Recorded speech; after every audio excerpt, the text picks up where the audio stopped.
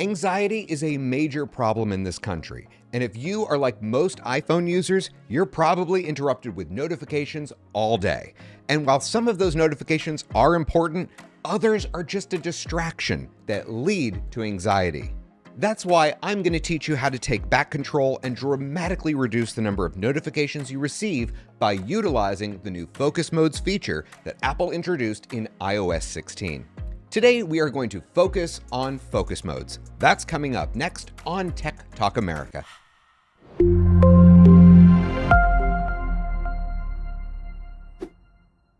Hey, folks, and welcome to the class. In a nutshell, focus modes allows you to receive the right notifications during the right circumstances. Before I show you how to set up focus modes, let me tell you how I use this feature. When I wake up in the mornings, I want quiet in my house. That's why I have a focus mode called Quiet Mornings. And during that time, specific contacts can reach me, but when it comes to social media and breaking news headlines, those can all wait till later. Like, much later. Then I get into my car and go to the gym, and because my phone connects to Bluetooth in my car, it automatically switches into driving focus. When I get to the gym, my phone switches into fitness focus because I've told it where my gym is located. The second I walk in the door, the lock and home screens change on my iPhone and Apple Watch so they only display my music, podcasts, and the fitness app. One of my favorite uses for focus mode is when I'm flying my drone. Think about it for a second. My phone controls the drone. It is literally dangerous if I am in the air and my phone starts ringing. By the way, in case you're wondering what you're looking at, that's what Disney is building down the street from where I live. Stay tuned. That's why I created a focus mode called video production. Anytime I launch the camera app, the teleprompter app on my iPad, or the DJI app when I'm flying my drone, 100% of the notifications turn off. I realize most of you at home don't get into drone photography, but let me ask you a question. How many times have you been shooting a video and the recording gets interrupted because a call comes in and it screws up the recording? Another one of my favorite focus modes is movie mode. The second I walk into either of the two movie theaters near me, my phone goes into low power mode, the lock and home screens switch to a black background with a purple font. That way, if I do need to glance at my phone or watch, it's easy on the eyes and it doesn't disturb the people around me. Those are just a few examples of how I use focus modes to fit my lifestyle. So at this point, let me teach you how to set this up to match your lifestyle.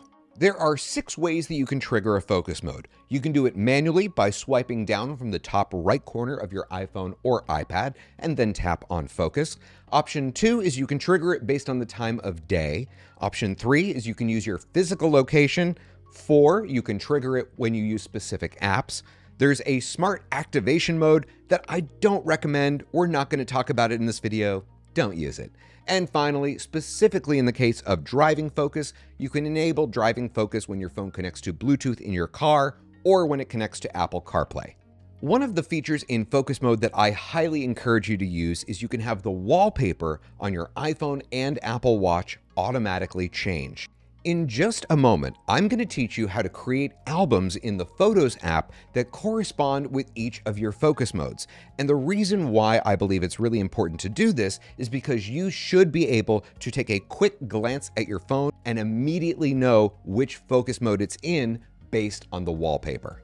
So at this point, I want you to go into the Photos app, and you can do this on your iPhone, your Mac, or your iPad. It doesn't really matter. Personally, I always prefer my Mac. And then I want you to create a new folder called Focus Modes. Then I want you to create a blank album for each focus mode that matches your lifestyle. Then you can drag the photos that you want to feature as wallpaper into those albums. For example, in my case, if I'm creating an album for my quiet mornings focus mode, I might want to fill that with some of my favorite drone photos that I've snapped over the years. There is one more thing that you might want to do in preparation before you proceed. In addition to creating albums that correspond with your focus modes, the other thing that you might want to do is to sort your contacts into groups. The reason why is because when you go to make exceptions in terms of who will be able to contact you when you have a focus mode turned on, it's much easier if they're sorted into groups. At this point, let's create a new focus mode. Let's go into settings and tap on focus. Now let's tap the plus symbol at the top right to create a new focus mode. Work focus is one of the preset options, so let's tap on that at the bottom of this list. Now let's tap customize. Next, I'm going to tap on choose people, and you can set this up one of two ways. You can either tell it who you want to allow or who you want to mute. I'm going to go with the first option. And remember a second ago how I told you that having your contacts sorted into groups makes this process so much easier? Well, this is that part. So I'll add just a bunch of contacts. Obviously, they're all fake. And that way those people can get through. All right, great. Let's tap next. On this next screen, I can designate who will be able to call me while this focus mode is enabled. I'd also like to point out that there's an option to allow calls from all numbers, which is perfect if you're afraid about potentially missing phone calls from numbers that are not stored in your contacts. Now let's choose what apps we want to allow. Again, you can do this one of two ways. You can either tell it what apps you want to allow or which ones to mute. I'll stick with apps that I want to allow. And in my case, I'll want to make sure that Ring is on there since that's my doorbell. Of course, I'll want to add my calendar, FaceTime, Zoom, and for now, that looks great. Let's now tap on options, and here you'll find an option to show notifications that were silenced on the home screen. I personally keep this feature turned off, but I'm sure plenty of you out there will want to turn it on. Everything else, I just like to leave the way it is. Let's now go back and we can add a custom home screen for my iPhone as well as my Apple Watch. This is where having those albums already set up in Photos makes this next part so much easier. I'm going to tap here where it says pick a lock screen from gallery. Now I'm going to select Photo Shuffle. There's a bunch of other options if you don't want to use your photos, but Photo Shuffle is definitely my favorite. Now I'm going to tap on Select Photos manually and then tap over to Albums and I'll direct it to my work album and select all of these photos. Now I'm going to tap Add at the top right. If you tap into this area where you currently see the date, you can swap that info with anything that you see in this list, including your calendar, reminders, etc. Personally, I like to keep it just the way it is, so I'm going to leave it that way. If you want to change the font or color of the time and date, just tap into them to make those adjustments. If you swipe from right to left, you can add a filter, but personally, I just like keeping my photos the way they are.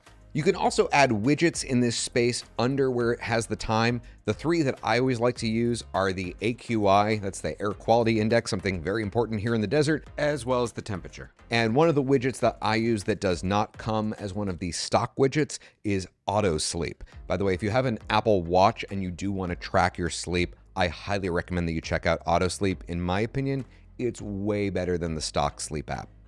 If you tap on the three dots icon here at the bottom right corner, you can set the shuffle frequency. For me, I like to do it as on lock or on tap. When you're done creating your lock screen, tap Add at the top right. You'll now get an option about whether you want to set this wallpaper as a pair or you can customize the home screen. Let's keep things simple and just set the two as a pair. At this point, you can add a watch face to pair with this focus mode. For me, I find the infograph watch face to be the most helpful, so I usually keep that as my watch face for everything with the exception of movie mode and fitness focus.